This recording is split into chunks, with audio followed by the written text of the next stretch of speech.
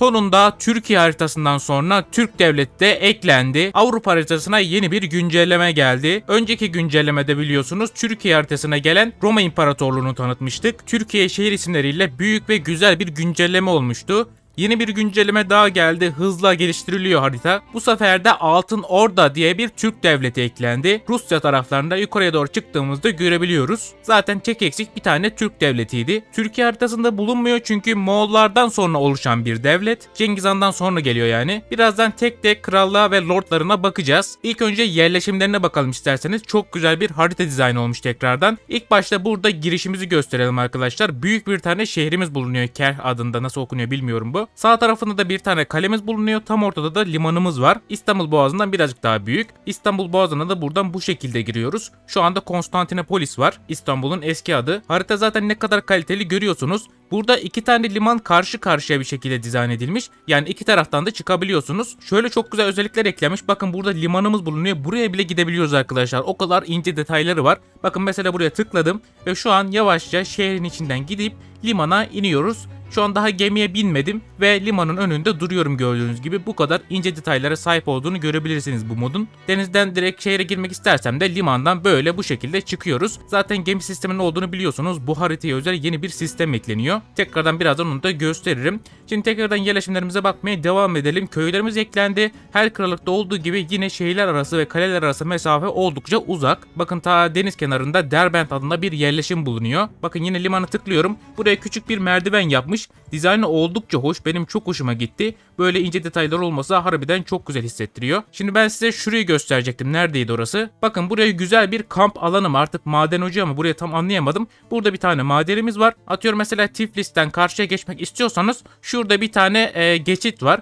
Bu vadiden geçtikten sonra adam buraya iki tane merdiven eklemiş. Hatta üç tane eklemiş. Yukarıya doğru çıkarken buraları kullanıyoruz. Gecelerde bu meşaleler daha belli oluyor. Bakın atıyorum mesela şuraya gitmek istedim.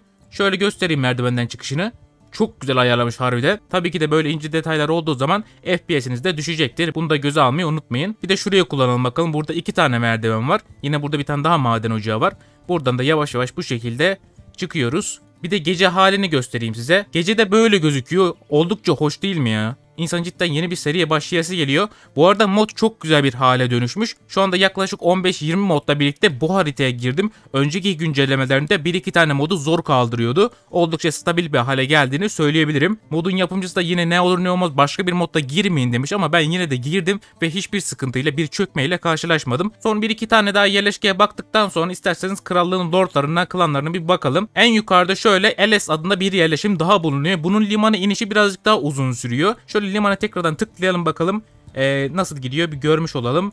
Evet merdivenden indi dolandı. ikinci merdivene indi ve çok güzel bir şekilde limandayız şu anda. Kuşatmalarda birazcık zor olacaktır ama bu kralla sahipseniz harbiden her yere hükmedebilirsiniz. İsterseniz bu kralın bir başına geçelim. Evet şu anda Altın Orda Devleti'nin başındaki Batuhan oldum. Zaten Türk uygarlarına yakın bir devlet olduğu için Kuzeyitlerin askerleri çoğunlukla olarak geziyor bu devlette. Şöyle bu krallığa sahip olduğunuzu düşünürsek İstanbul'u almak için Anadolu'ya indiğinizde kuşattıktan sonra buraya alırsanız yerleşim ismi değiştirici ekstra bir modla buranın ismini İstanbul olarak değiştirebilirsiniz değiştirebilirsiniz. Bu şekilde hikayede daha uygun olmuş olur. Artık Konstantinopolis değişti ve İstanbul oldu. İşte böyle kendinize has roleplay hissi yaşatabilirsiniz. Bu harita ile birlikte yapabileceklerinizin bir sınırı bulunmuyor. Şimdi krallıklardan şöyle Golden Horde'a tıkladığımız zaman zaten güncellemenin adı Golden Horde yani Altın Ordu Devlet olarak geçiyor. Toplam 9 tane klanımız bulunuyor. Bizim klanımızın adı da Borjin. Her klanda da yeterli sayıda üye olduğunu söyleyebiliriz. Kuzeyitlerin bir sembolü verilmiş. Zaten bu Kuzeyitlerin sembolü de bir tane Türk devletinden uyarlanmış. Kırgızlar mıydı tam hatırlamıyorum. Mirhan diye bir klana girdiğimizde Ulakçı adında bir lider görüyoruz. Altın Orda tarihini hatırlayanlar bunları biliyordur. Burada da Berke'miz var. Hemen yerleşime gidip bir de askerlerine bakalım. Ben daha önceden bakmıştım arkadaşlar. Kuzeyit askerlerine yakın. Şöyle asker toplaya geldiğimizde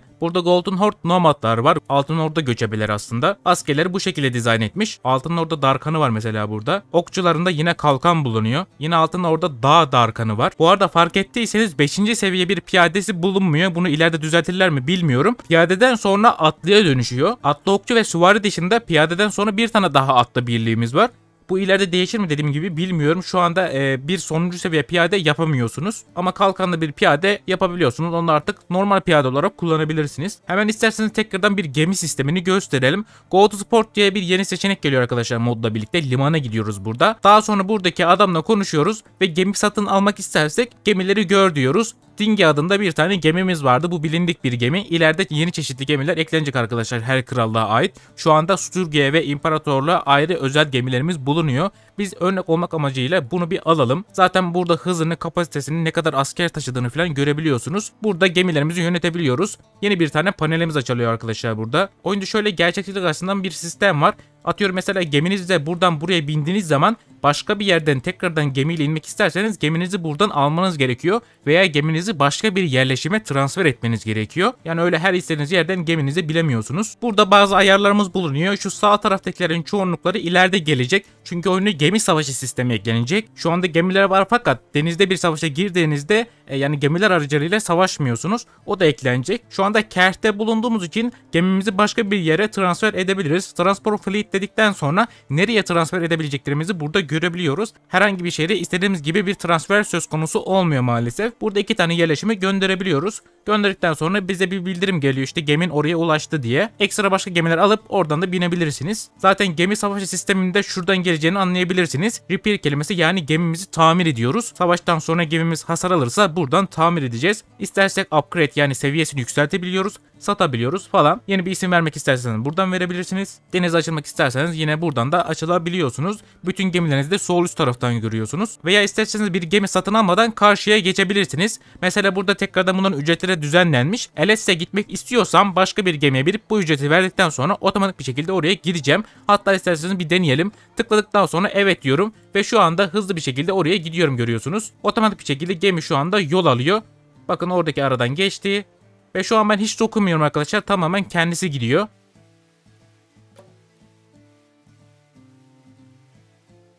Evet neredeyse varmak üzereyiz.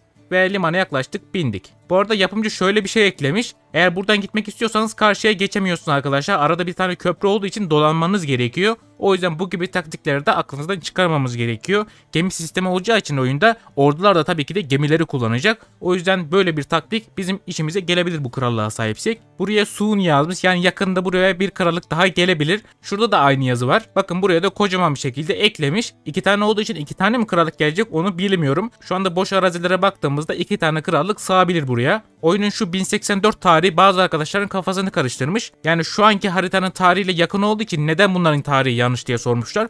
Bu oyunun default tarihi arkadaşlar. Oyuna başladığınızda bu tarihte başlıyorsunuz. Bunun haritayla bir ilgisi bulunmuyor. Bir de zaten yapımcısı söyledi. Çok fazla gerçekçiliğe önem vermiyor. İşte demişler Eyyubiler varken Selçuklu Anadolu'nun yarısına girmişti zaten diye e, söylemişler. Birazcık daha düzenli gözükmesi için böyle bir e, karar alınmış arkadaşlar. Yani birden fazla kralın iç içe olması birazcık sıkıntı olabilir. Avrupa'yı önceki videolarımda zaten çok gösterdim. Bunlarda herhangi bir değişiklik bulunmuyor. Gelecek güncellemelerde bunların bayrakları değişecek ve yeni askerler gelecek. Şu anda krallıklar eklenmeye devam ediyor. Buraya da güzel bir tane köprümüz eklenmiş. Hemen isterseniz bir karşıya geçelim. Şu anda bu güncelleme daha çıkmadı. Ben kapalı beta olarak erişim sağladım. Yakında public olarak halka açılacaktır. Modun linkini açıklama kısmına bırakıyorum. Atölye ve Nexus'ta mevcut. Güncelleme geldiği zaman haber ediyorlar zaten Discord sayfasına girdiğinizde. Bu arada burada bir tane daha kamp varmış. Ben onu ben görmedim. Bu da çok tatlı bir kampa benziyor. Bakın zaten Türkler eskiden böyle bir evlerin içinde kalıyordu. Şimdilik göstereceklerim bu kadar arkadaşlar. Umarım yeni güncellemeyi beğenmişsinizdir. Tavsiyeniz ve değerlendirmelerinizi yorumlara yazmayı unutmayın. Kendinize iyi bakın. Hoşçakalın ve